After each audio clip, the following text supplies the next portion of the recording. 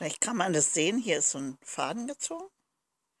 Und ich werde das jetzt reparieren. Ich halte mir das Ganze über dem Finger. Und das heißt ja, dieser Faden kommt irgendwie aus diesen Maschen oder aus diesen Maschen.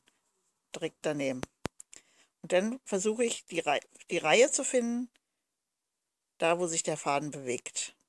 Und dann gehe ich immer ein Stück weiter und ziehe ihn immer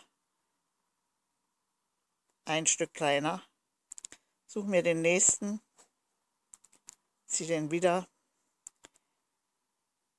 fange dann wieder neben der Masche an, andere Seite.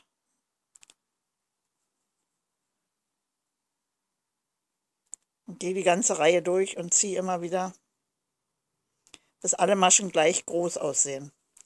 Noch haben wir hier ein Loch zu sehen.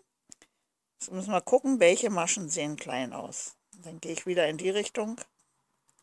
Immer ein Steg neben dem anderen. Und den ziehe ich dann immer ein Stück hoch. Und den immer, immer etwas weniger, bis die Maschen daneben alle gleich groß sind. Dann mache ich das wieder an der anderen Seite.